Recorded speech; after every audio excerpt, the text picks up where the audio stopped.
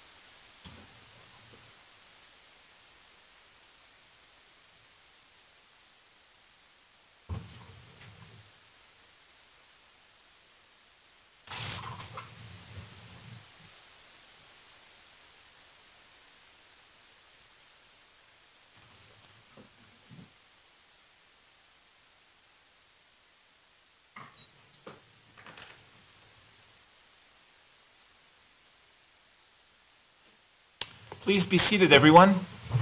The record should reflect that the jury is back in the courtroom. I hope you had a good lunch, everyone. By the way, it is cool in here, um, and that must make some of you happy, at least a couple of you I know are happy as a result of that. It might not make some of you as happy, uh, and I mentioned this to somebody last week. Uh, I can't make everybody happy, um, and you know, the way that the system works, because it's a pretty old building, is that they tend to keep the courtrooms cooler in the morning with the anticipation that with the heat, it's going to get warmer throughout the day. So usually, if you've noticed, by the time we get to three or four, it's warmer than it is at 8:30 in the morning. And that, that's why. If we make it warmer in the morning, then it's going to be uncomfortable uh, in the afternoon. So this is sort of the best we can do with what we have. And so those of you who are too cold, you may plan on dressing for winter when you're here. All right, let me uh, ask Mr. King or his colleagues to call their next witness at this time, please. Your Honor, the defense calls Dr. Holland. All right, thank you.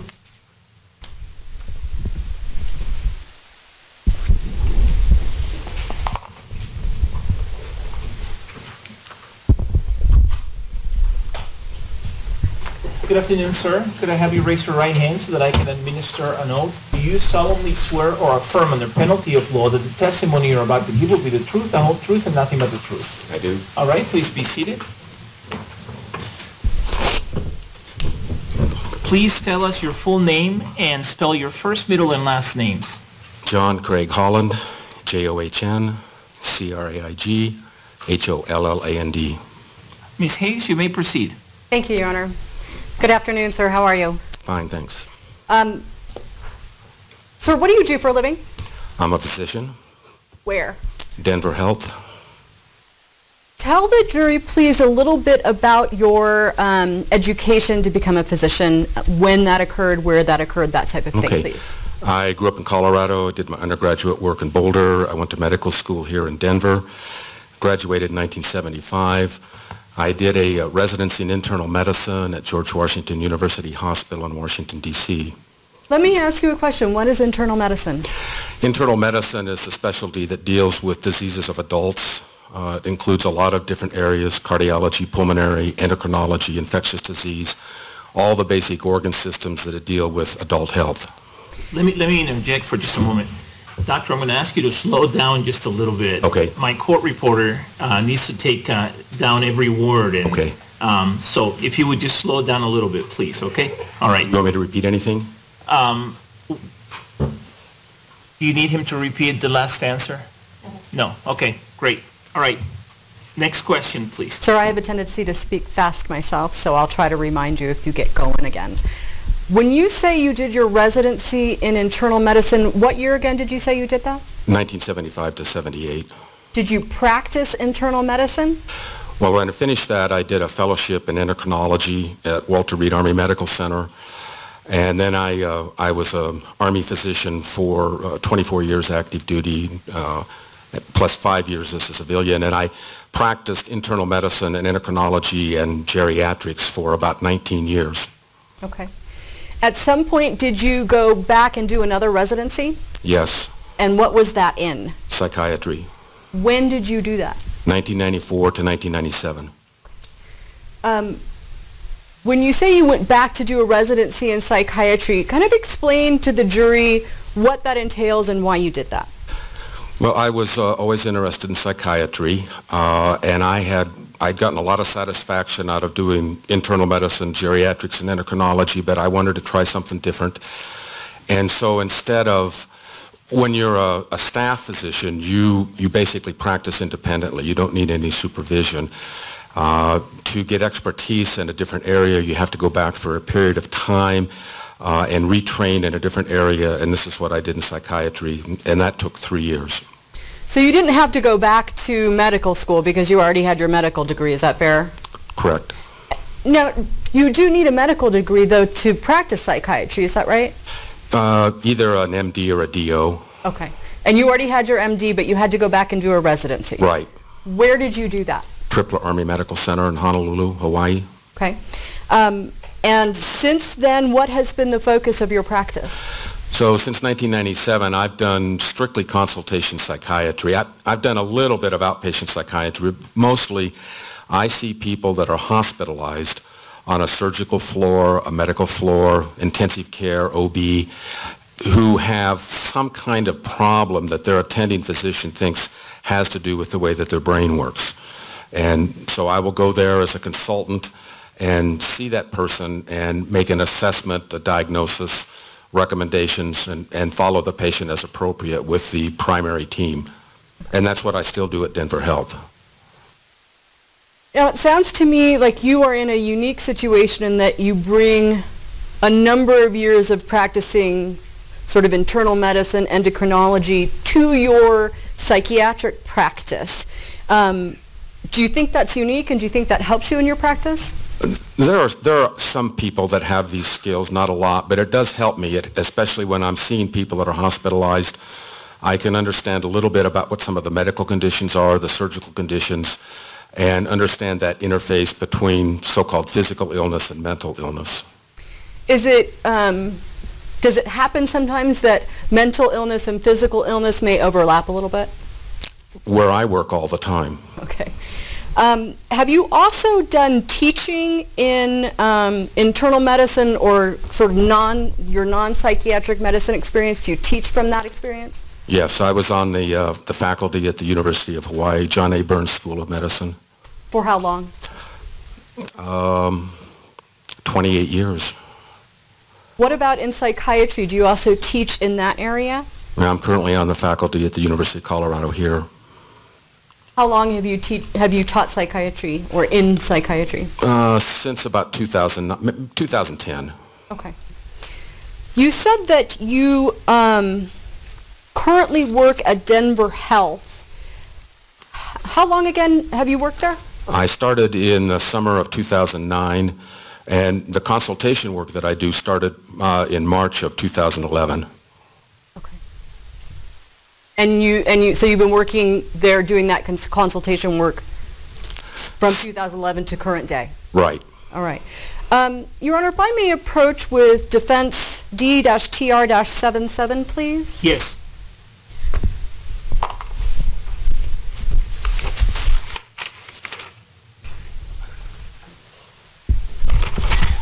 Doctor, I'm showing you what's been marked as D-TR-77. Um, Is that a current, well, is that a, a- at least a fairly recent copy of your CV? Yes. Okay. I think it's dated November of 2014, so it's fairly recent. Yes. Um, And does, does that CV detail your training, your experience, your teaching experience, both in internal medicine, and endocrinology, as well as in psychiatry? Yes. Okay.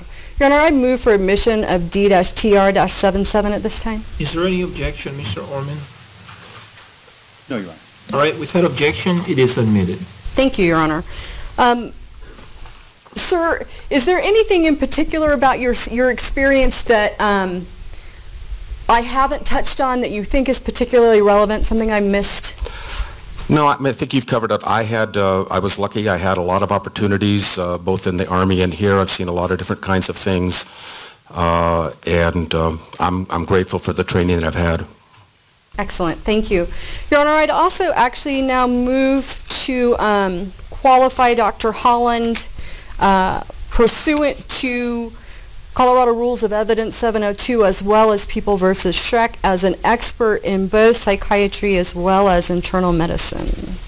Is there any objection? Not to those two specific areas, Your Honor. All right. Without objection and pursuant to Rule 702 of the Colorado Rules of Evidence and the decision in People versus Shreck, which is published at 22 Pacific 3rd, 68, Colorado, 2001, the court accepts Dr. Holland as an expert witness in the fields of psychiatry and internal medicine. That means, folks, that he now may render expert, expert opinions in those two areas. I remind you that uh, you are not bound by the testimony of an expert witness.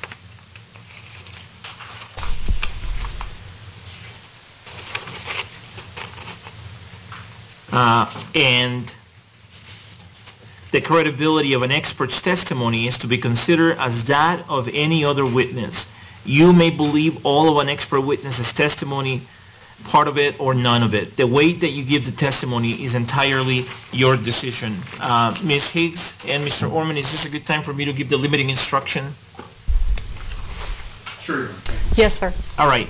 Uh, Members of the jury, the court has admitted the testimony of Dr. Holland only for a limited purpose.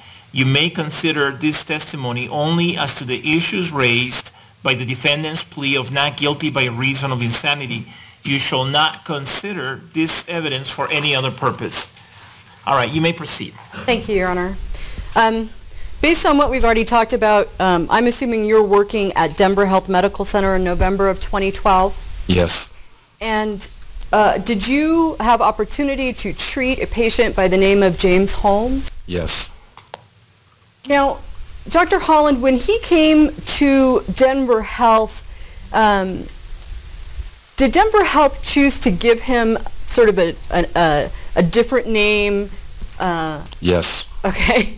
And, and what was the name, do you recall, that Denver Health chose to give him? Brady, Arkansas. And do you recall why they did that? Uh, Nobody talked to me specifically about that. I just assumed it was a very high-visibility case with a lot of uh, legal ramifications, and they wanted to keep confidentiality as much as possible. Okay. So if, if the jurors look at any of the records from Denver Health and it indicates Brady, Arkansas, is that the person that you know to, to be James Holmes? Yes, Okay. And Your Honor, if I may now approach with D-TR-78, please? Yes?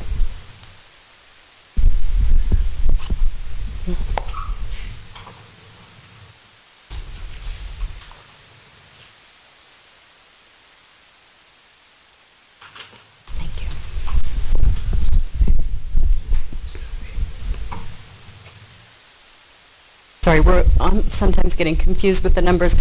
So, Doctor, um, be- before we talk too much about that, I want to ask you some sort of preliminary questions.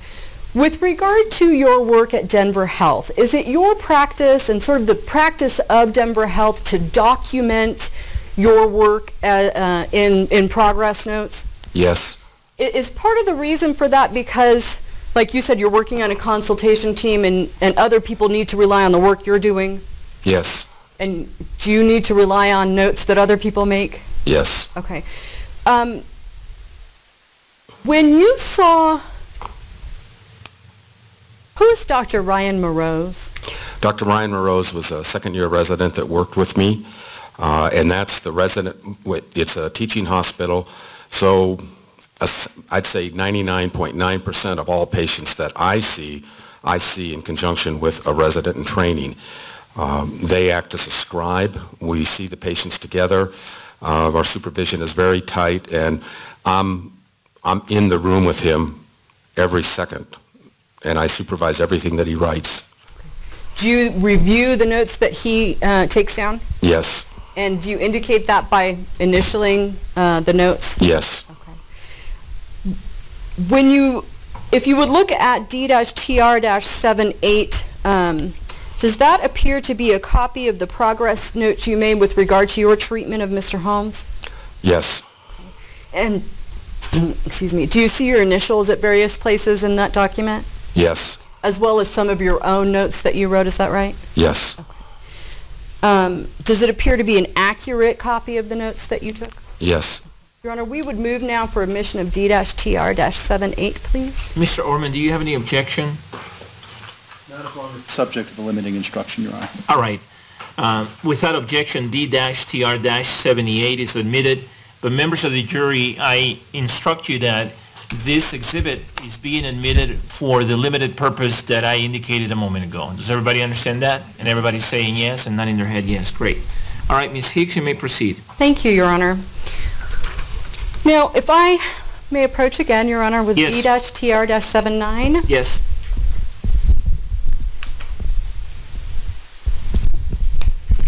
Doctor, I'm handing you D dash, what's been marked as D dash TR dash 79, and it is a, a blank calendar from November of 2012. June, is, is that correct? Yes. Okay. Um, and how many times did you see Mr. Holmes um, during that, that week-long period that he was at Denver Health in November of 2012? I saw him twice on Friday, the 16th of November, and once on Tuesday, the 20th of November. Okay. And do you recall what, when he was admitted to the hospital? Yeah, he was admitted the night before Thursday, the 15th of November, 2012. So the night before you saw him on the 16th? Uh, The admission note was timed, I th- I'd have to look at it to be absolutely sure, but it was around 8 o'clock at night, between 8, 9:30, something like that. Okay. Do you recall what time you initially saw him on the 16th? 11:30, And you said you saw him twice that day? right. What time was it you saw him the second time? Uh, 1400 hours, 2 p.m. Okay. Um, and do you recall what time you saw him on the 20th? Would looking at your notes help refresh your recollection? Right. Okay. Um, That would be at 0820, Okay. In, so 8:20 in the morning. yes. So what I'd like you to do, if you would, Dr. Holland, is there should be a pen up there at the witness stand. Or if you have a pen. I've got one, yeah. Um, if you could write your name uh, and today's date on that calendar and maybe the top left corner.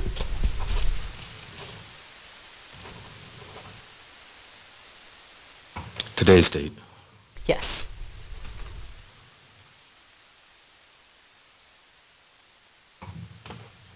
And if you could mark on there the uh, date and time that you, times, plural, that you saw Mr. Holmes, please?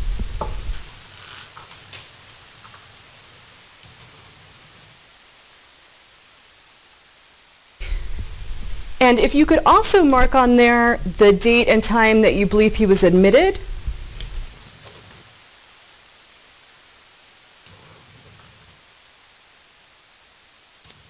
And the date and time, if you know it, that he was released. And was he released on the 20th of November? He was released on the 20th. We, I was the last person on the team. We saw him. He was safe enough to be discharged from our facility. Okay. So now with regard to that calendar, um, Your Honor, may I approach to take a look at it? Yes? Thank you. Thank you, Doctor.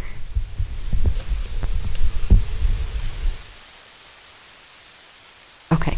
Um, Your Honor, I'm going to show this to the prosecution and move for admission of D-TR-79. All right, Mr. Orman, do you have any objection? I don't. All right, without objection, it is admitted. Thank you. I'm going to just leave this up here.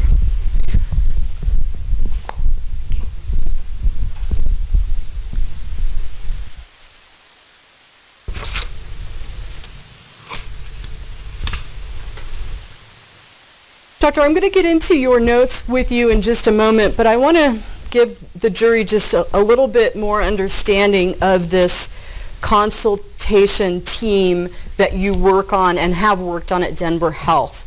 Um, so can you just explain the dynamics of how you all work together? Okay. So there's, uh, there's three attending psychiatrists, one attending psychologist. Uh, we have a schedule set up. We rotate days. Most of the time, there's just one of us on at any given time, occasionally two. Uh, we start on weekdays, Monday through Friday at 7:30. We review all the cases that we have to see, who's active, try and prioritize the cases, uh, divide up the cases, who's going to see who. We have a, a second-year resident in psychiatry and a last-year uh, resident uh, in psychology working on their PhD. So we may have some medical students. We may have a couple of more residents sometimes. We may have a physician assistant trainee. So we kind of compose our team and sort of plan the way that we're going to organize our day in terms of how we go out and see patients. And then the other thing is, is that we have a, a, a single pager so that if any new consults come in or a question comes in, something like that, somebody in the hospital uh, can call us to ask specific questions about the patients that they see. So and then we just, we go up, we go see our patients, we write our notes.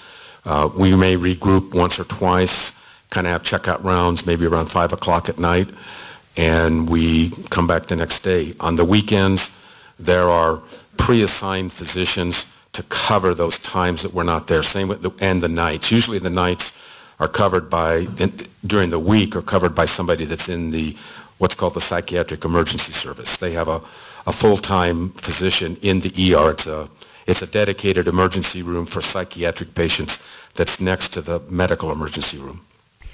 Why is it that this is set up as a team versus one doctor just seeing the same patient every single day?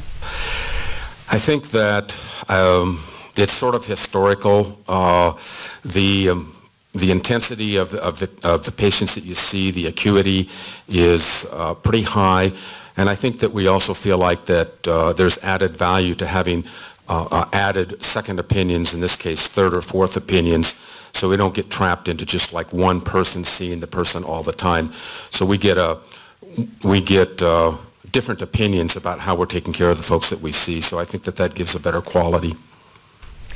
Do you think that it gives it, so, so you get to sort of rely on, instead of just your, what, 20 years of experience in mm-hmm. psychiatry, you get to add to that the 30-plus years of experience of Dr. Weintraub, the 10-plus experience of Dr. Davis, and so forth. Is that Right. accurate? That's correct. Okay. Leading.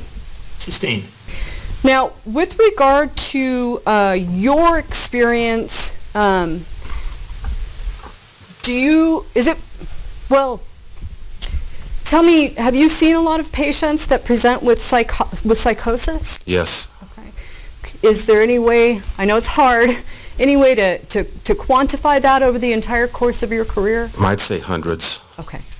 Um, when you were working at Denver Health Medicine, um, Denver Health Medical Center, you you just used the words intensity, acuity. Um, are the patients that you're seeing there uh, in sort of through psychiatric emergency uh, unit? I'm not sure if I'm getting any of these words correct, but do you see a lot of patients that are acute and with intense symptoms? Yes, and again, the patients that we see, they're on, we see in the medical ER and on the medical floors. We don't see patients on the psychiatric floor or in the psychiatric emergency room. Okay. So we're, we're kind of the arm for psychiatry to help all the other specialties of the hospital. Okay.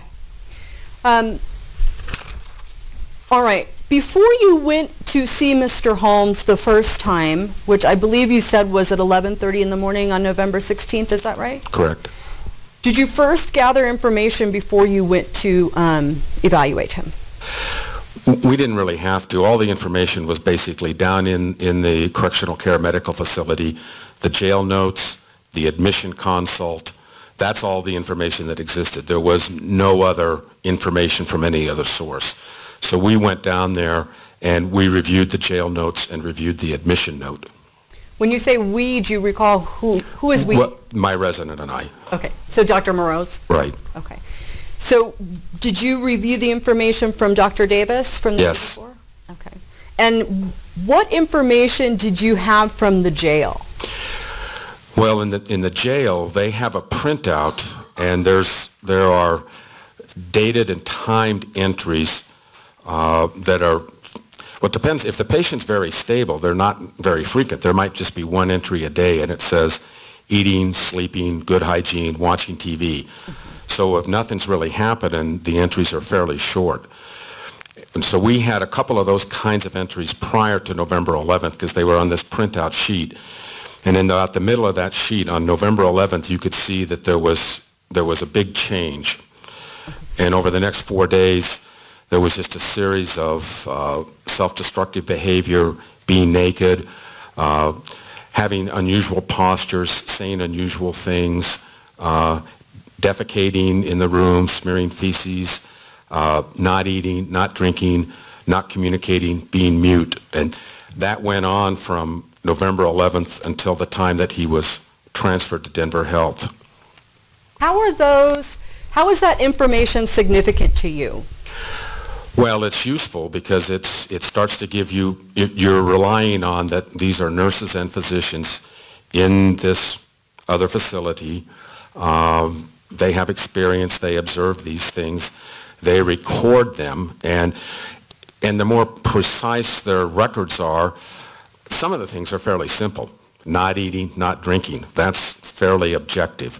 And you, then you take that sort of historical information and you match it up with objective data that you get once they're admitted, like say his medical examination, the results of his laboratory studies, those kinds of things. And it helps you, you, you look at subjective information, objective information, you come to an assessment, a diagnosis, and you can formulate a plan.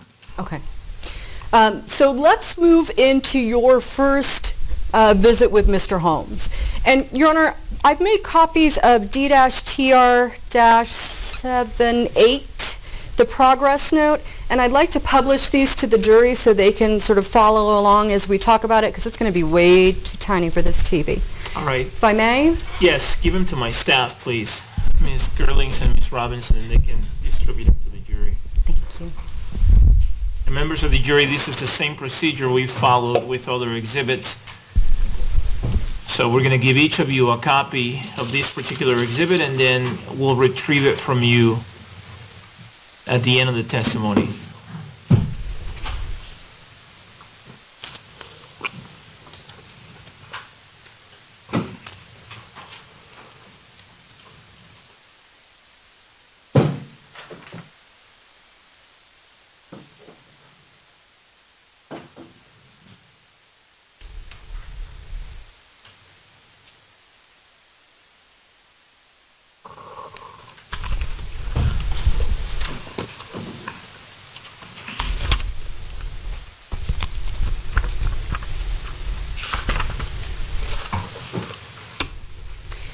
Doctor, uh, you, you just talked a little bit about the information that you had before you went in to see Mr. Holmes.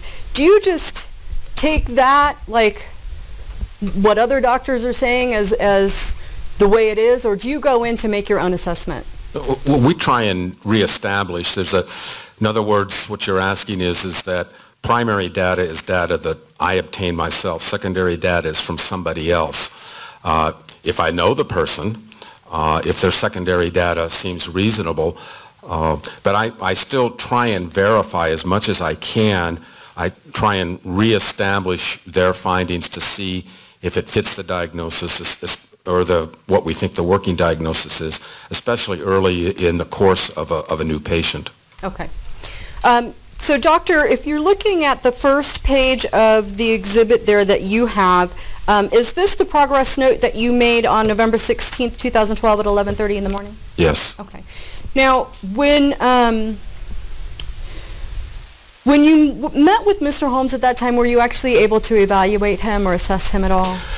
And the, the salient part of this particular visit was is that he was so sedated we couldn't even arouse him even by shaking his legs. So our intervention was to talk to the medicine attending, Dr. Frazier, to talk to the nurses and the sheriffs about what happened the night before. We, we made some changes based on some new data that we had, but the direct interview with the patient was really impossible. And when you go down further there, an objective, all those things like says speech, mood, affect, UTA means unable to assess. Okay. Um, did you know why he was so sedated? The hypothesis was from medication, and what we, he had, when he came in the night before, the way he was treated was with a low-dose antipsychotic, low-dose anxiolytic, uh, a medicine called Cogentin, which is an anticholinergic that sort of counteracts some of the effects of the Haldol, the antipsychotic. He had gotten some of this medicine uh, a little bit before we saw him, so that we thought that in his particular case, uh, one of the, one of the side effects of, of these kinds of medications is sedation, and that's what we were seeing, and that's why we made some adjustments in these medicines. What were the adjustments that you made, and where is that noted on here? Well, on the second page, uh, about halfway down, if you look at sort of plans and recommendations, uh, and, and, in, and then at the very bottom where it says attending only below this line, the very last part there, right above my name, that's a little bit more legible. The first thing we did was we stopped the cogentin, benztropine. Uh, that's one of the anticholinergic side effects is it can cause urinary retention. And the patient had 700 cc's of urinary retention, which is grossly elevated. In his age, it should be maybe 10 cc's.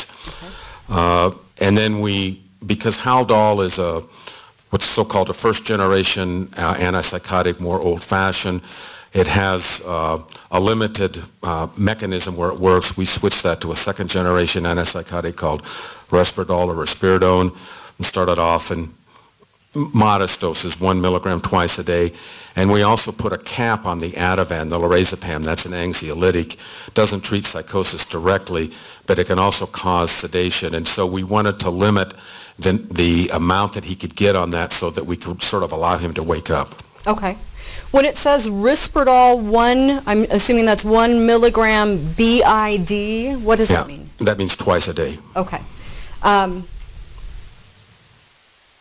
You said he had 700 cc's of urinary retention. Right. Now, um, if you look a little bit um, up toward that the the top of that second page, it has assessment, and then it has axis one, axis two, Right. axis three. Um, what was the axis one? Um, is that a diagnosis? Is that a It's a, it's a system of classification, and I should just say that in psychiatry, we use what's called the DSM, the Diagnostic Statistical Manual. We're currently in the fifth generation of this. The fifth generation came in 2013. When we were seeing this patient in 2012, we used what was called DSM-4 Text Revised, TR. Okay. And one of the big differences between 4 and 5 is, is 5 eliminates this multi-axis assessment. But in DSM-4, when we did an Axis 1 or the major psychiatric illnesses, Axis 2 is diagnoses primarily in childhood, like intellectual disability and personality disorders, and Axis 3 are the medical conditions. okay? There's two other axes, but, but they're not listed on this, this form. Um, when when you have this note here that axis one is psychosis NOS, is that something that you have confirmed? Is that something that a doctor prior to you has confirmed? So where's that come from? Well, it could be both. Okay. Okay? And in this case, our diagnosis and the preceding diagnosis were congruent. They were the same. The psychosis not otherwise specified, all that really means is it's a domain of psychosis. You look for hallucinations, delusions, disorganized speech, disorganized behavior, prominent negative thoughts, could have catatonic features, funny postures, selective mutism, those kinds of things. What it means is, is we, and there's a differential diagnosis to that, and it can include medical conditions, substance-induced, and then the more commonly known psychiatric illnesses like schizophrenia, schizoaffective disorder, those kinds of things.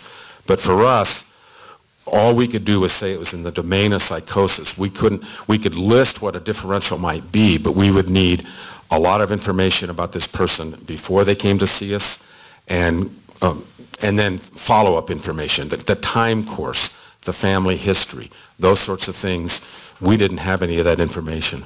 You would want to know um, how he presented, say, even in childhood, adolescence, uh, in the years before he came Right. to the hospital. Right. What was his, his premorbid function, his function before this episode of illness started? Okay.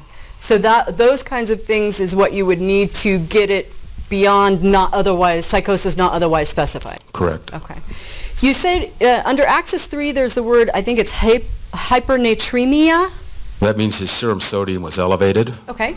and that's pretty significant. Um, the brain works based on its environment of electrolytes, sodium, potassium, its acid-base balance. All of those things are important for normal uh, central nervous system function, normal brain function, normal, normal neuronal function. Okay.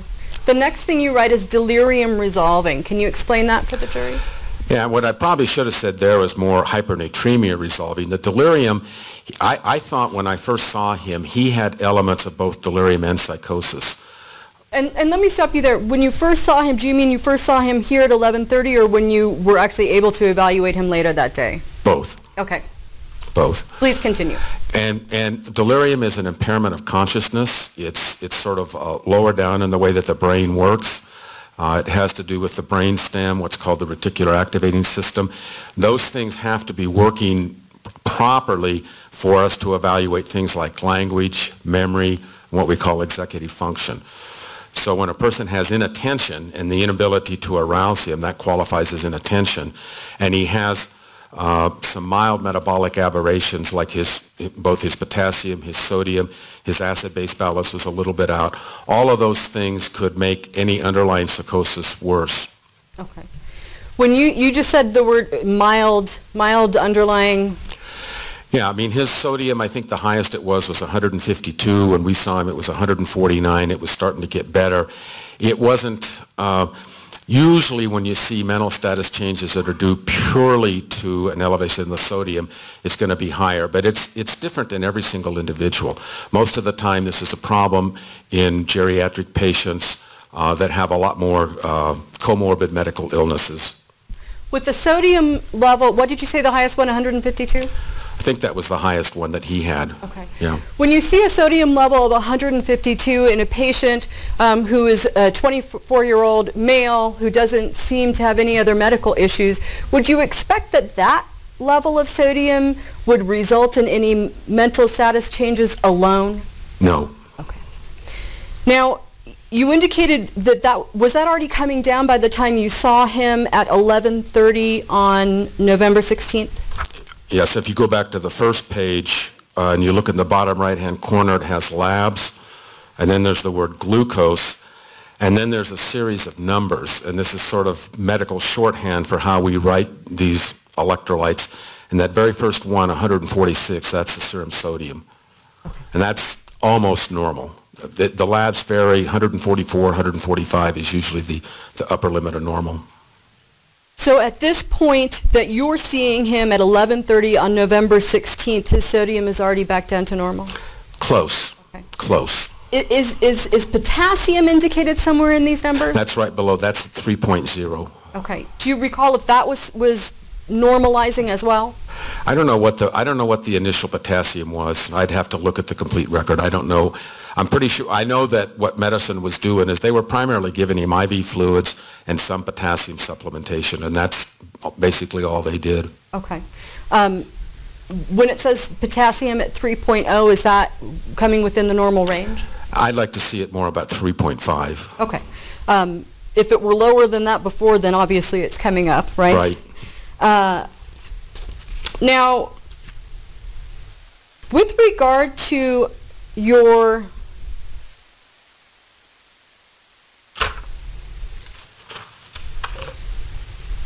your your next visit with him, which was later that day. Well, actually, before I go there, Doctor, um, with this level of potassium, even though you'd like to see it at 3.5, would you expect any mental status changes in a 24-year-old male who's relatively healthy at this level of potassium? No, the, the most important thing that potassium controls is cardiac conduction. And unless his cardiac conduction was abnormal to the point where he wasn't perfusing his brain, I wouldn't suspect that in, in causing any kind of neurologic or psychiatric changes. Okay. So really, the relevant thing for the, for, or the relevant number for the delirium resolving and hypernatremia is the sodium level, is that right? Yes. Okay. So I kind of started off that train of thought with the 700 cc's of urinary retention. Um, it, you said it should be kind of around 10. Maybe I'm off because I am not a doctor, but it sounds to me that he seems like he's retaining a significant amount of urine that he would be decently hydrated at that point in time. Well, they were giving him a lot of fluids, and because of this anticholinergic effect of the muscle and everything like that, uh, his urethra, you know, coming out of his bladder, it's closed down, and it's like a, it's like a dam, and, and the gate is closed. It's not letting the fluid out. Okay. All right, so let's talk about the next time you went to see him, and that would be on page three of these notes. Is that right? Correct? Okay. Um,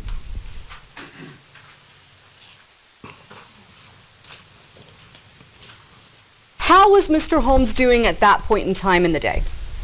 Well, he the, the main change was is he wasn't so sedated. So in other words, when, when we do our mental status exam and we think the way that the brain works, the very first thing we look at is his level of attention, his level of consciousness. And that was much, much less impaired. I mean, we could go in and talk to him. We didn't have to rub his sternum, move his extremities around, things like that. Okay. Um, I'd like to kind of go through this progress note with you a little bit. Um, I think I can read most of it. Um, Okay. So I'd like to just start at the top there, and if you can just kind of, because your handwriting, or, well, I should say Dr. Morose's handwriting, let's blame it on him, is not fabulous, if you could kind of just read uh, the first couple sentences Sure. of that note, and then we'll talk about it. So it says uh, November 16th, 1450 hours, uh, Psych CL, that's Psychiatry Consultation Liaison, follow-up note.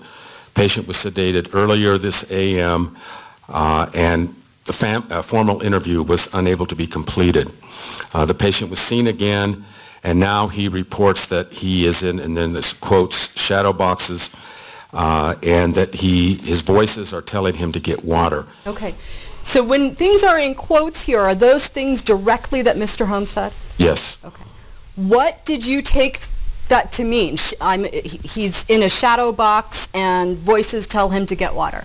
Well, one of the things that we look at uh, fairly specifically uh, are the presence of hallucinations.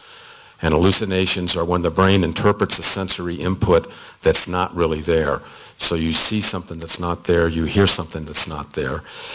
And we interpreted the shadow box as uh, sort of a vague, primitive visual hallucination, but he also said that he was hearing voices, and that's an auditory hallucination. And it's important, in, in purely psychiatric illness, you tend to get primarily auditory hallucinations. Once something else is added on, then you think about medical conditions like delirium. So the fact that he had both to us meant that his that he, he had an element of delirium, he had an element of psychosis. Okay. Um, Can you, can you go on? Patient also, Also reported when asked about self-harm that he has bitten his arm for food. When asked what kind of food, patient reported, quote, proteinaceous.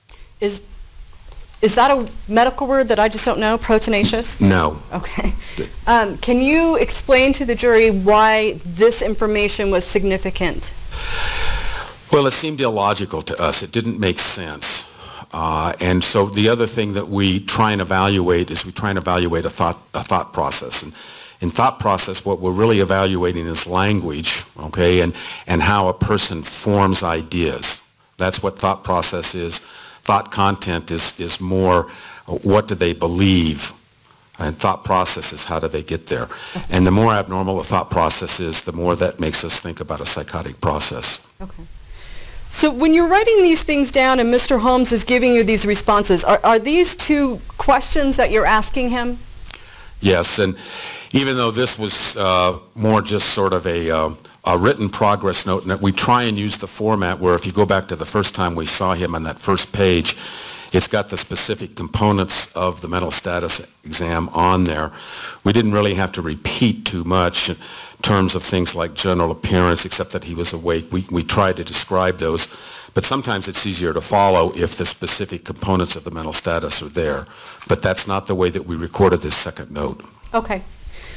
So the next thing I think it says is patient denies... is that- visual hallucinations, and active suicidal ideation. Okay. So you just kind of referred to the shadow box thing as perhaps possibly part of a visual hallucination. And but that's then- what he said. He, it- for, for him, he- I don't think that he saw that as a visual hallucination, okay? He was making a description, and sometimes the way that a person experiences this and the way they get described, it's hard to convey in specific words. It, it depends on the limits of your vocabulary and, and how alert you are, because he was coming out of a delirium. He was sort of sedated and everything like that. So it, it, it seems a little bit incongruent, but the thing that we really kind of came away was that, that, that was more important than the shadow boxes or his denial of visual hallucinations was the auditory hallucinations. Okay. Um, And if you could go on and read the next sentence, patient reported, Uh, yeah, he, so he said that, uh, so he reported that he had um, not been eating for a few days because it made him sick and that the voices told him not to eat. is it uh, common in somebody with psychosis to, at some point, not, to stop eating? Common. Would you expect someone, um, a young man, 24 years old, relatively in good health, um, if they So I'm just trying to put this sort of not eating, not drinking in, in context in my mind. Does, if somebody doesn't eat for a couple days, does that make them become delirious, just not eating for a couple days? It would depend if they had any uh, comorbid medical illness and everything. And an otherwise healthy person, I mean, I, I guess you could look back, like when I was growing up, people would go on hunger strikes for political reasons, okay? Those people, they didn't get psychotic, Okay. okay? And it would take them uh, usually a lot longer to be starved before they would start uh, getting medically ill, to require medical attention. Okay. And the same with regard to not, not having water. If somebody, um, I'm assuming it, it takes, you would see changes in a person a little bit quicker? Is that fair to say, for lack of? Yeah, water is way more important than food, Okay, okay. so. Um, is it fair that it would take somebody who's younger and in a healthier state a lot longer to experience the effects of not eating and drinking than, say, somebody who is um, either, you know, very, very young, like a small child, or very, very old, or somebody who has, is otherwise compromised? Yes. Okay. So when uh, when you hear him talk about not eating um, for a few days because it made him sick and the voice is telling him not to eat, is that also psychiatrically significant? Yes. And how? Well, he's having, he's having command auditory hallucinations that are directing what he does in his life, even something as important as taking food and water. That's a pretty basic thing that m- most of the time we don't think about it. We just do it. It's, it's, it's the normal course of life to eat and drink. And he had specific auditory hallucinations that were preventing him from doing this. Okay. Um, when I think the next thing that you have listed here are, are his vitals, Those are the vital signs. and were those uh, normal for at that point? Well, the temperature, uh, it's not too bad. 148 over 98, he's a little bit hypertensive. You can get that with volume constriction. 125, his heart rate is still fast. You can see that with volume constriction. Um, what, what's volume constriction? Uh, just not enough intravascular volume, not enough fluid on board. Okay. I mean, he needed more fluids, more water. okay. Uh, 98% ORA means on-room air. That's a, a little device they put on your finger, the pulse oximeter. Uh, Okay. So that's pretty normal. Is, is this, are his vitals starting to normalize? They're getting better, but, but sometimes the mental status will improve before the blood pressure and the heart rate. Okay. Um, is there anything else significant that you think the jury needs to know about this note? Just that he was getting better and that he had the auditory hallucinations. Okay. Now, um, you, we, we've kind of touched on this a little bit, but if you can explain to the jury, sort of, we've talked a little bit about delirium and about psychosis. What would you expect, how is, del, what would you expect to see? What are the cardinal signs of delirium?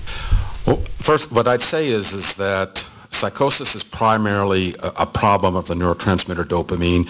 Delirium is primarily a problem of the neurotransmitter acetylcholine. And, and what we look at, we'll look clinically, we'll look at what's the onset like. Delirium onset pretty fast. Psychosis slow. What's the duration? Delirium short. Psychosis usually indefinite, if, unless it's due to a medical condition or a substance. What's the patient characteristic? Delirium, old, and old in psychiatry means older than 40. A lot of other medical illnesses, on a lot of medications. Um, there's rarely a family history for delirium, whereas there is in psychosis. The, the kind of Cadillac test is to do a brainwave test, an EEG. We almost never do that, but it would be presumably normal in psychosis, uh, and it would be abnormal in a person with delirium. It'd have what they call diffuse slow wave slowing. And that, and, and what it sort of tells you is, is that delirium is a, it's a global disorder of the brain because it really starts at the brain stem, whereas psychosis is further up the, um, the structure of the brain. Okay. Um, with regard to delirium, would you expect more sort of inattention? Yeah, And, yeah, thanks for reminding me, that's actually the cardinal feature. Uh, In delirium, there's inattention, they can't count backwards from 20. Uh, In psychosis, attention is usually not impaired. But I think it's also important to say that they, they can coexist, they're not mutually exclusive, and there's a certain amount of overlap. So if you were going to look at this conceptually, uh, you might draw some Venn diagrams with a certain amount of intersection. Okay, okay. Um, So w- if somebody is psychotic, they are able to, their, their attention is there, but maybe their answers are disorganized or illogical or nonlinear. Right. Is that fair? Correct. Okay. So you then saw Mr. Holmes next, I believe, on November 20th of 2012 in the morning. Is that right? Yes. Um, And so that starts on page four of these notes.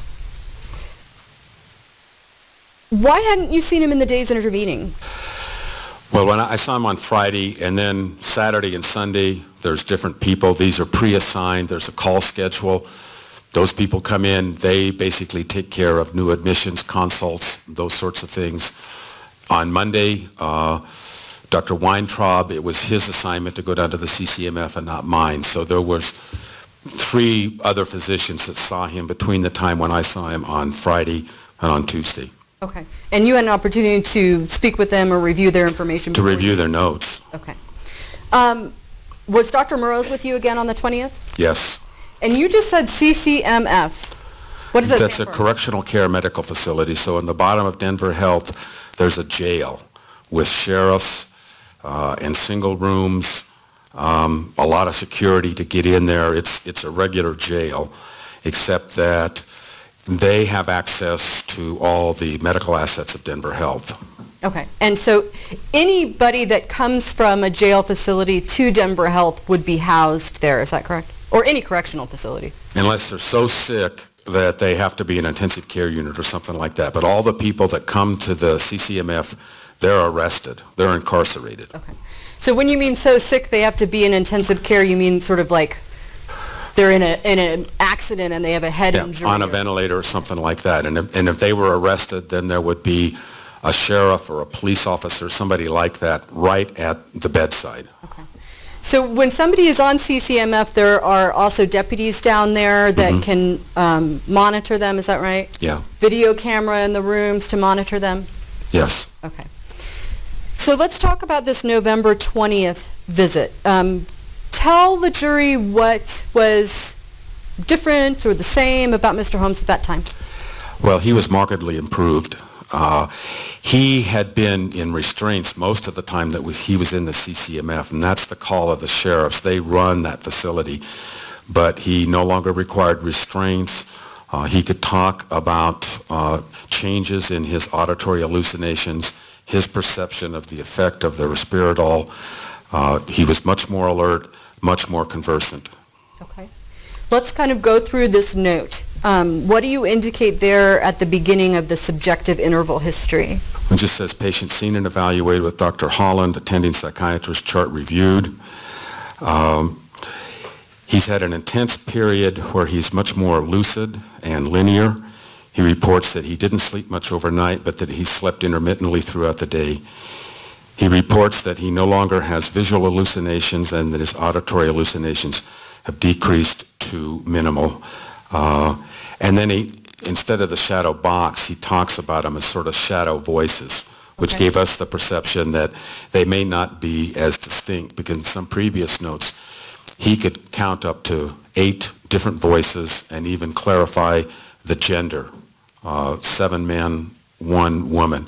And we, we think when the voices are that concrete, that it sort of raises our suspicion that this is a primary psychotic process. Okay. So he, he was just, he was a lot better.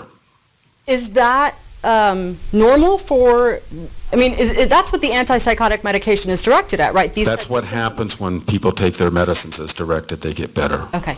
It's not unexpected that he might respond this quickly.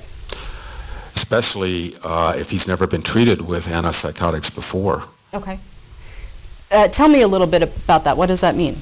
Well, w- Request to approach. Yes.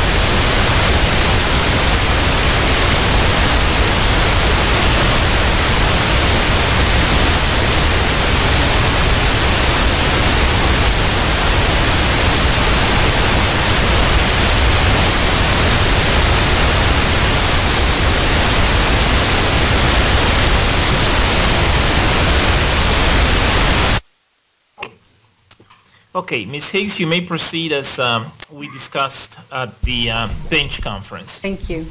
Doctor, did you talk to Mr. Holmes on the 20th about the effect of his, of the antipsychotic medication?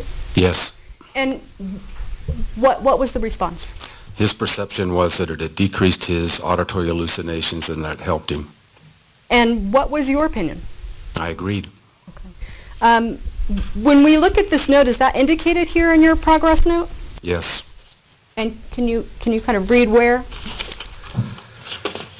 So it'd be the last page at the bottom where it says attending only below this line. I've directly interviewed this man. Uh, I've reviewed all the psychiatric notes uh, since my last contact. The patient is remarkably better uh, compared to last Friday. He's alert, interactive, um, out of restraints, better sleep. Um, He acknowledges that his medications are helping him with both auditory and visual hallucinations. Visual hallucinations seem gone. His auditory hallucinations have been complex with up to, I put six different voices there. Diagnosis remains psychosis NOS. His response to antipsychotic has been excellent. He should stay on risperidone. What was his dose of Risperdal when um, he was discharged from Denver Health? He's getting two milligrams at night and one milligram in the morning. Had, had that changed at all from your? A little bit. We, on Friday, we started him at one milligram twice a day, and, and I think the Sunday physician increased it to two milligrams at night. So it was a, about a, you know, a 30% increase. Um, is, is, is that a low dose, a normal dose? I'd say it's, I'd say it's sort of in the middle. Okay. We, we don't like to go over six milligrams with this dose. Um, you can use this medication in other more vulnerable populations, say like a geriatric population, and you might use a dose of, of 0.25 or 0.5 milligrams. That's small. Okay. I, I'd say that this was fairly average for new, new onset psychosis. Okay. When you indicated that his response to the antipsychotic has been excellent, um, how was that significant for you? Well, it worked Objection. This is similar objection to up, uh, before, Your Honor. Not overruled. This is specific to, to the defendant. He reported his hallucinations were improved. He looked better. We always talk to the sheriffs and the nurses. They're very experienced. They've been around for a long time. Everybody's impression was that he was doing better. Um, did you, did he seem to be pleased with the medication? Yes, he, to me, he gave me that he was, there was less suffering.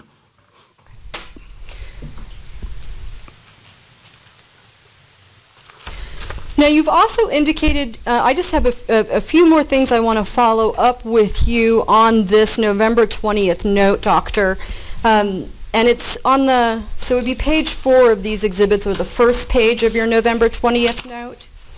And one of the things that you wrote here is delusions, none, I think none evident, is that right? Right. Okay. Now, when a patient comes in who has been arrested and is, is an inmate at a correctional facility, um, is it your practice to talk to them about the offense for which they are there? No. Why not? We try and keep a pretty firm boundary between what's going on medically, and I, when, when I say medically, I include psychiatry and what the legal charges are. We don't have any control over what the sheriffs do uh, in terms of does the person get to watch TV, those kinds of things. So we're basically guests in this uh, incarceration facility. We try and address strictly the medical issues. We don't tell uh, the people when they're going back to jail, anything else like that. We, we never get involved with that, And, and Doctor, you did not speak with Mr. Holmes about the charges for which he was not at all. Okay.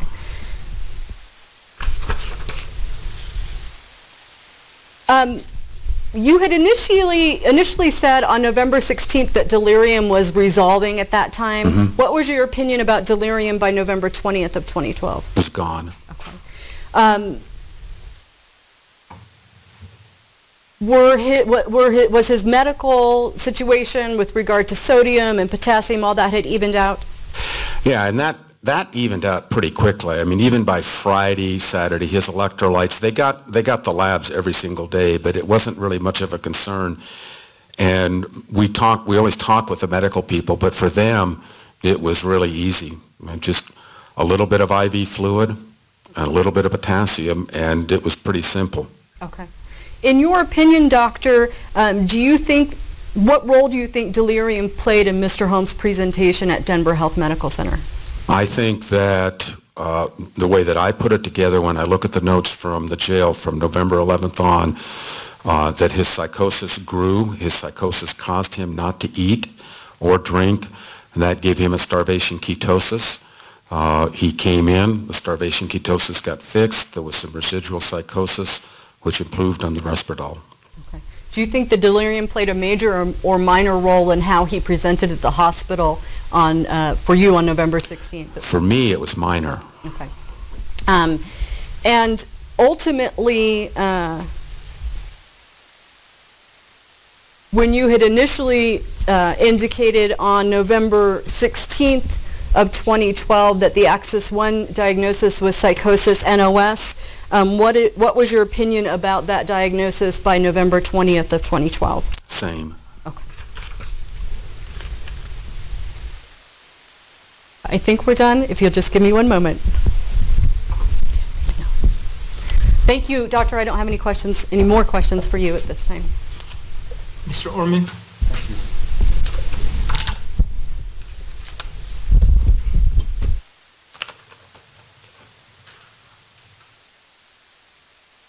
Hello, Doctor.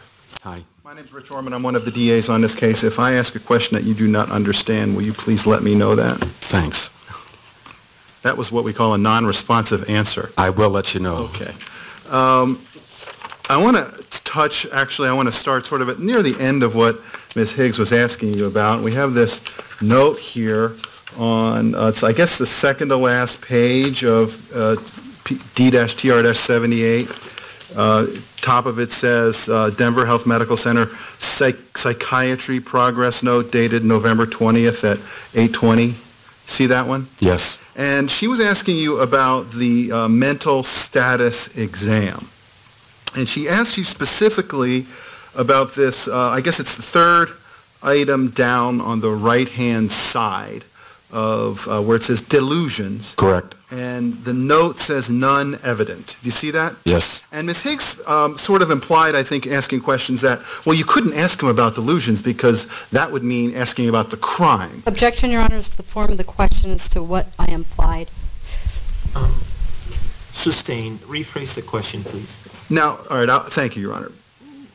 Delusions, the presence or absence of delusions can be a consideration that a psychiatrist has to take into account in determining a diagnosis, correct? Yes. For instance, with uh, schizophrenia, the, the presence or absence of a delusion can be important about whether that's the diagnosis or not, correct? Yes. And uh, you, it's not like when you looked at this, you ignored whether there, a delusion might be present because that was sort of an area where you could not go into, correct?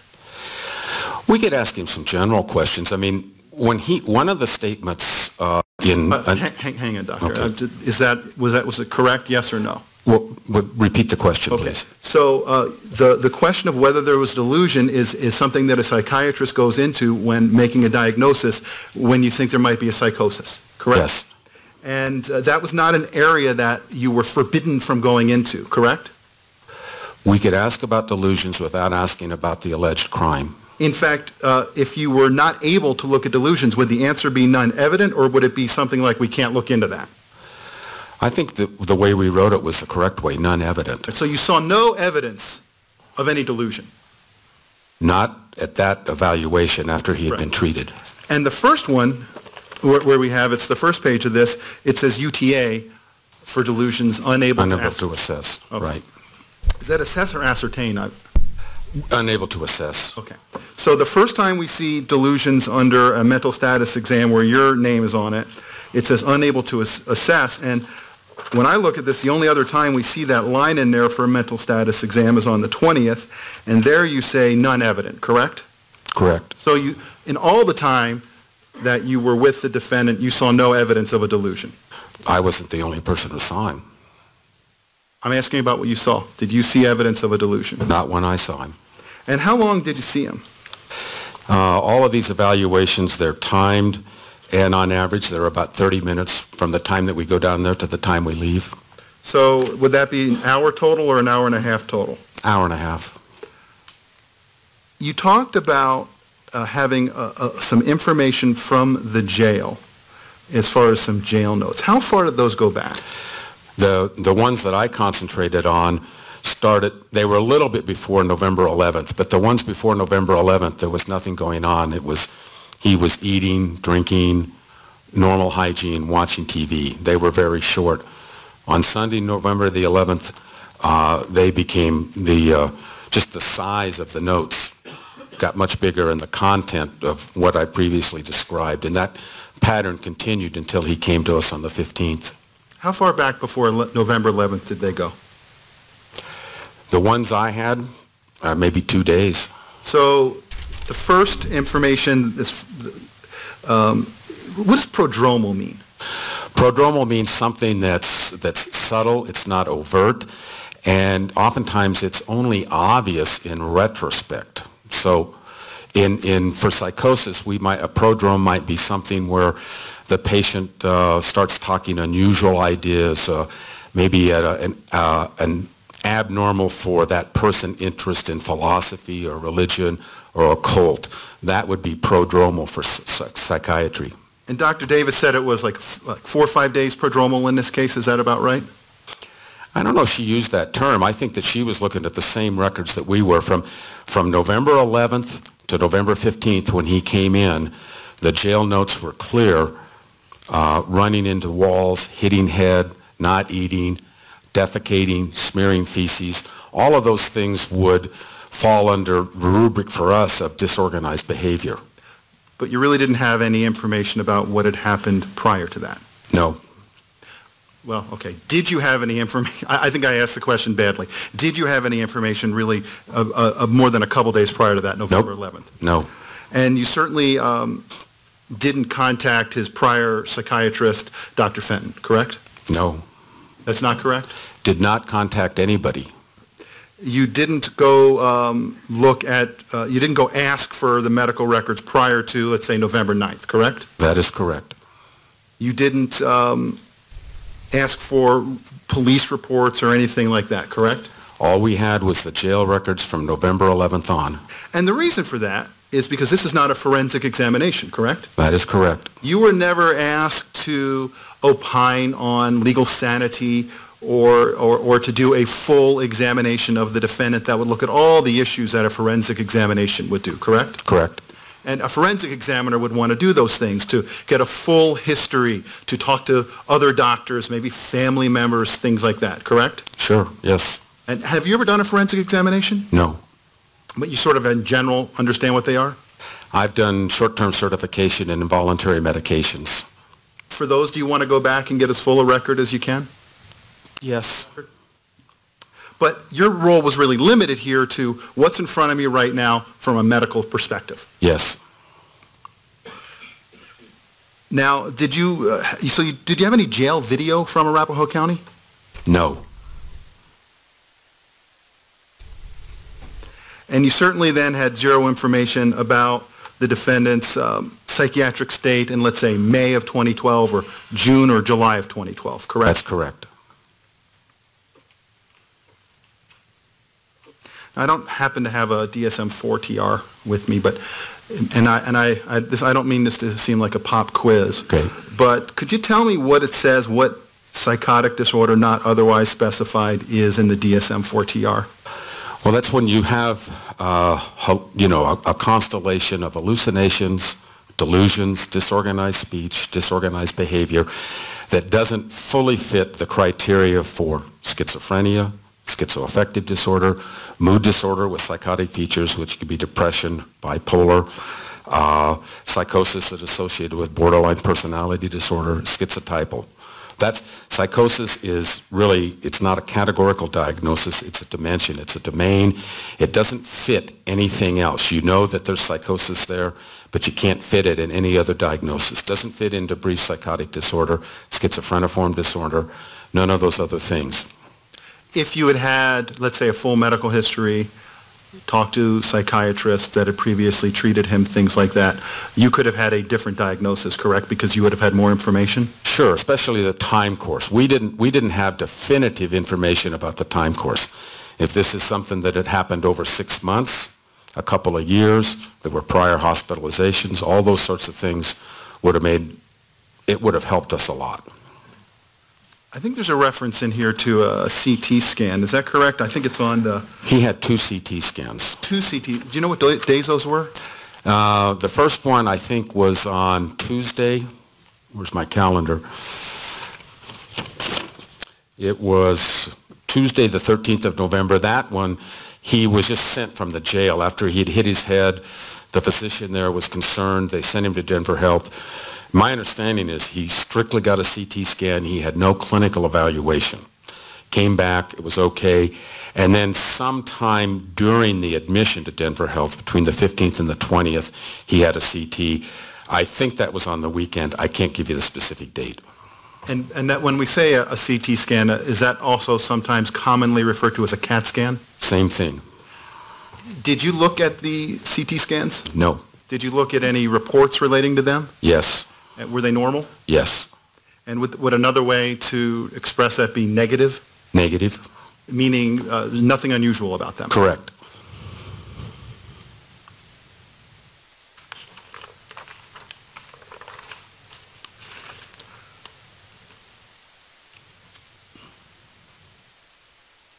What, what does the term premorbid function means? I think, I thought I heard you say that. Premorbid function means, so when a person has, uh, when there's a, uh, a fairly obvious onset, a discrete episode of illness, premorbid function means you try and go back and see what were they like before that illness started. And it may be as simple as what were they like before the hospital admission started or before they came to clinic.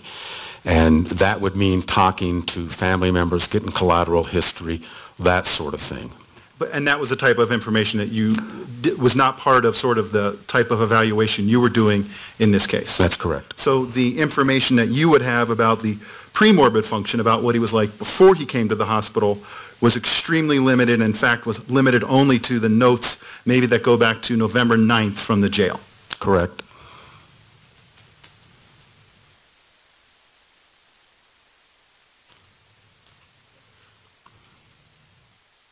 So the type of thing that you might want to see would be notes going back to, let's say, when he was first put in the jail, if you were looking for premorbid function, correct? Go back even further than that. If I was in an outpatient clinic and I was going to follow this person, I'd want to know uh, what it was like, uh, were there any problems uh, when he was uh, with his mother's pregnancy?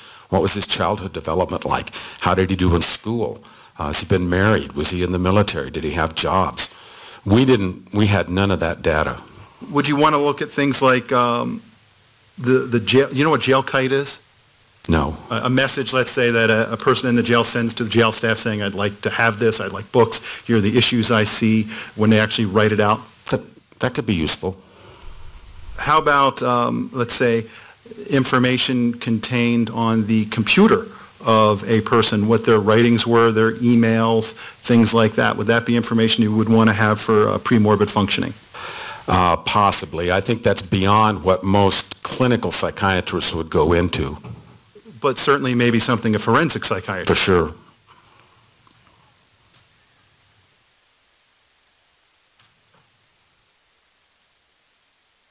Now, when you were talking with the defendant, uh, you were there as an attending physician, correct? Yes. So you, w- would it be fair to say you were overseeing Dr. um, Moroz, or were you doing this along with him?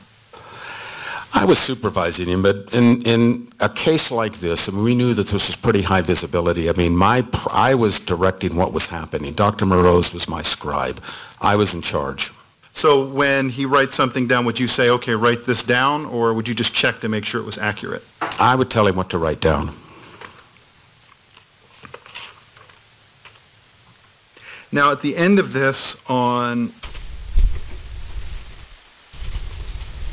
November 20th, 2012, the the disposition says it's okay to send him back to Arapahoe County Jail or potentially the CMHIP, correct? That's correct. Because you felt that he was in a state where, what, he wasn't dangerous to people in the jail or himself? He was safe enough to go to uh, an environment that was, that had less medical assets than we did.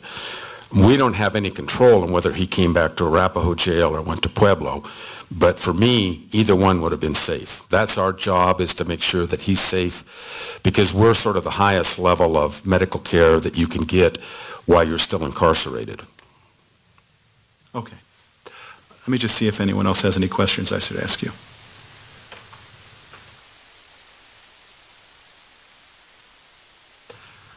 Thank you, Doctor. Is there any redirect? Yes, Your Honor, thank you.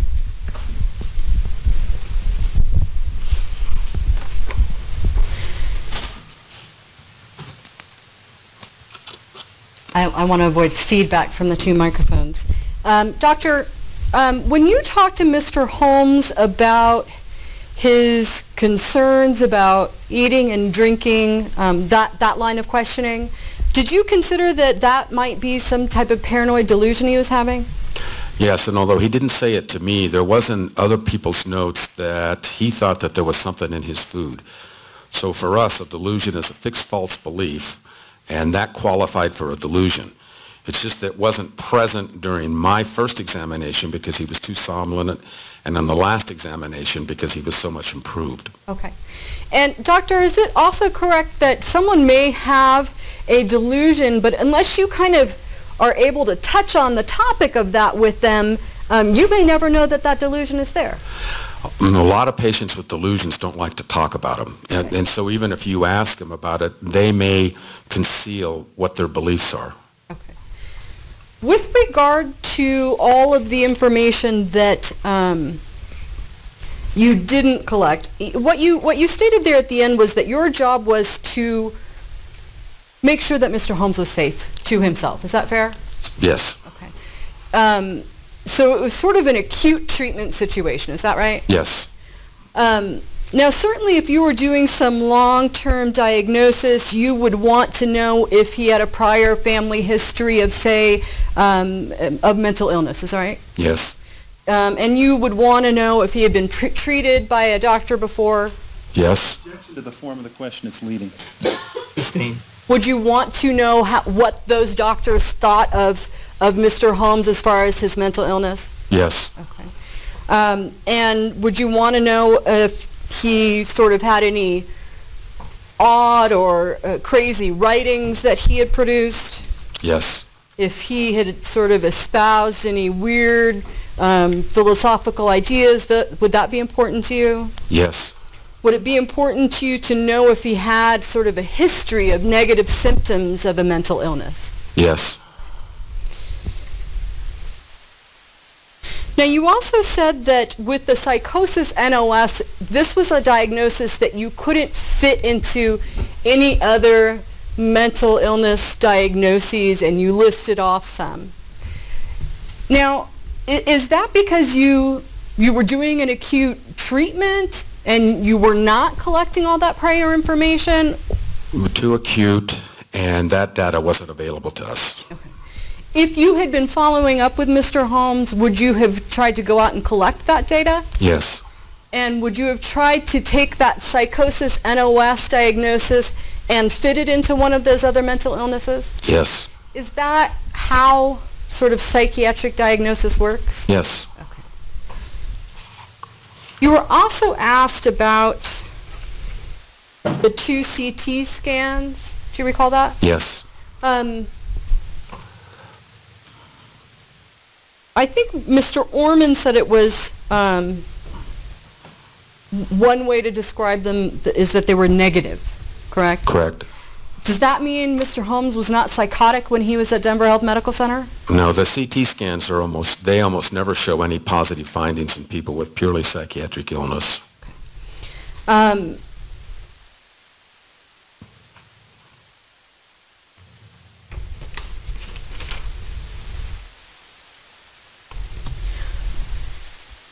Uh, Mr. Orman asked you about uh, Mr. Holmes being safe to release either back to the Arapahoe County Jail or to, I think he said CMHIP and you said Pueblo. What is that? Well, that's the state uh, hospital where they, they go into a much more uh, drawn-out evaluation of this person's competency, and we're not really equipped to do that. Okay. And, and that would be a safe place for him as well? They have a locked facility, is that correct? Yes. Okay. Uh, I don't believe I have any more questions, but if you just give me a moment. Nope. Thank you very much, Dr. Holland. I don't have any recross, Your Honor. All right, the jury appears to have some questions. So give us a moment, please, doctor. No? Oh. Ah, sorry, you're putting papers down where the jury questions are. Okay. All right, let's retrieve then all the um, copies of the exhibit that were distributed, or, yeah, that were distributed a moment ago. And uh, may Dr. Holland be released from his subpoena, Ms. Higgs? Yes, Your Honor, he can. Any objection, Mr. Orman? All right, doctor, thank you. All right, members of the jury, it's uh, seven after three. Let's go ahead and take our afternoon break. Please uh, make sure you abide by all my admonishments during the break. Enjoy the break. I'll see you back here in 20 minutes. Thank you.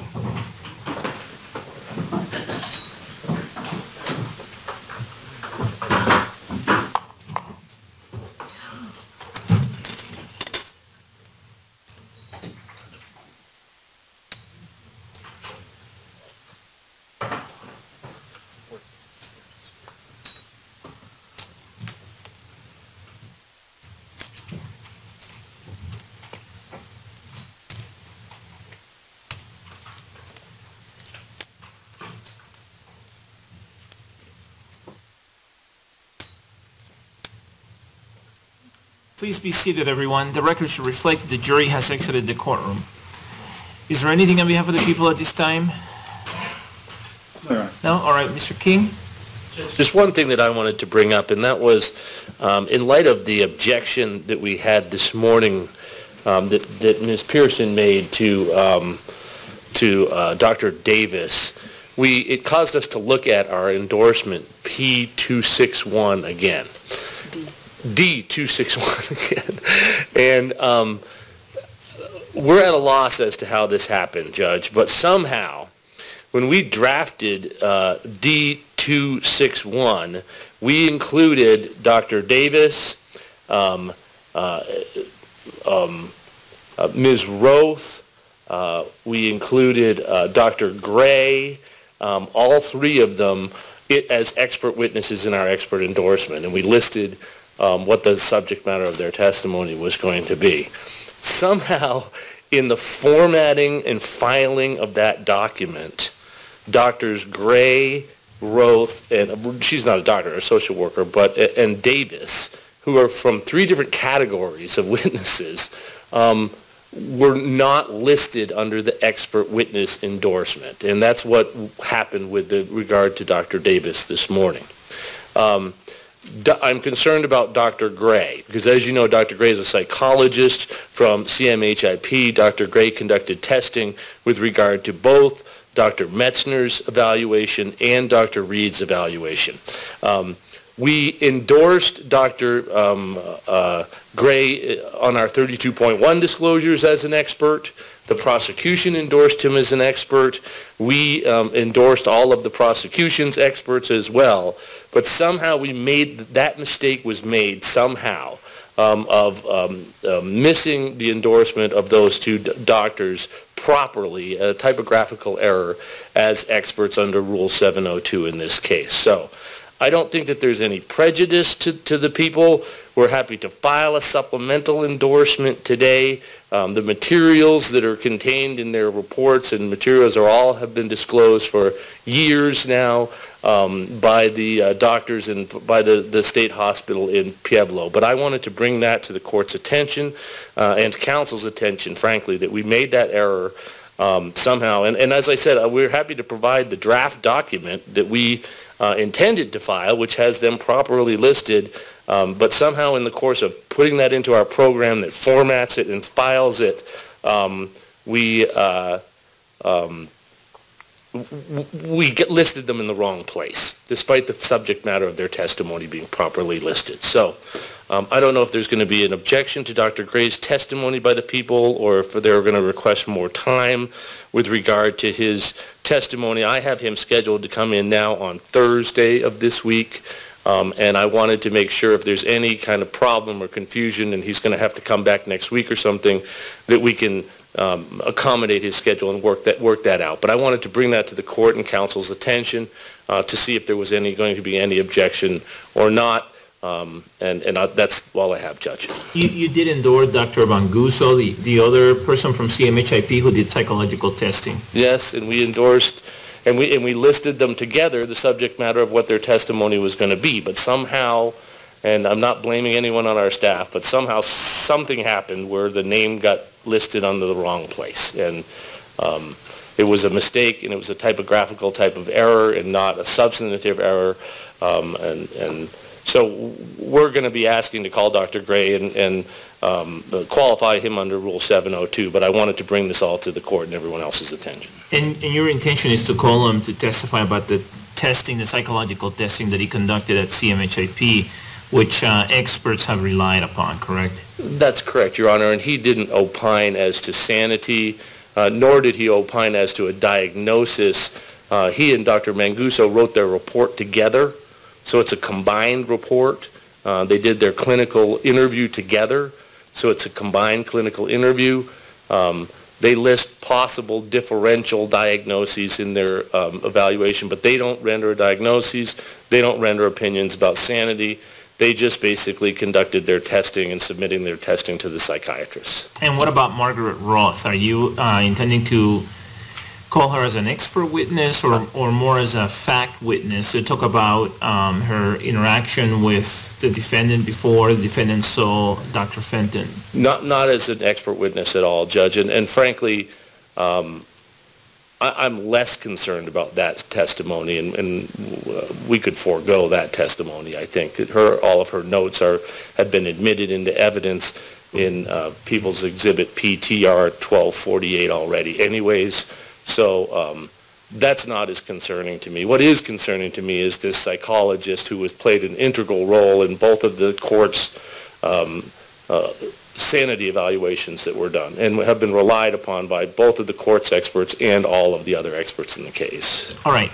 Do the people want to think about this over the break, or do you want to take a position now? Well, it's, uh, I will say that Mr. Brauchler had to step out, and that is uh, Doc- uh, Dr. Gray is Mr. Brauchler's witness. Uh, But I would just say, I I cannot imagine the defense would not object if I made a similar representation, representation that Mr. King just did, and I think the, Mr. King would say that they were prejudiced, that they did not expect this witness to testify as an expert, because that's what we would have put in a, um, a endorsement, and I, I, I- it, it just seems to me that they are not taking the same position that they would if we had made such an error, and uh, I, I really don't think there'd be a difference in situation under such circumstances, but, but I, that's just an observation I have. All right. So do you want to take a, a formal position now, Mr. Orman, or do you want to wait to speak to Mr. Brauchler? I, I want to wait to speak, to speak to Mr. Brauchler and see what he has to say about that. Okay, all right, we'll uh, proceed in that fashion then. We'll be on break, thank you. I'll see you back here at, uh, let's make it uh, about uh, 3:30 or so.